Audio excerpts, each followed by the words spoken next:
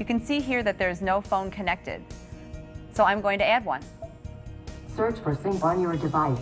Then, enter the passkey provided by Sync.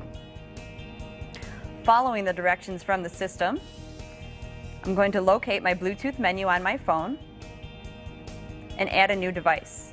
My device is searching for Sync, and once I find it, I can enter the passcode shown on the screen. My device found Sync. I can select to pair, For your safety, please stay alert to changing road conditions and use Sync's voice activated features while your vehicle is in motion. Next, I'm going to select to download my phone book.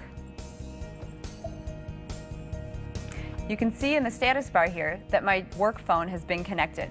The battery strength is shown, the Bluetooth signal, and my signal strength. You can also see that 911 Assist is connected. Here, I would be able to dial a phone number using the keypad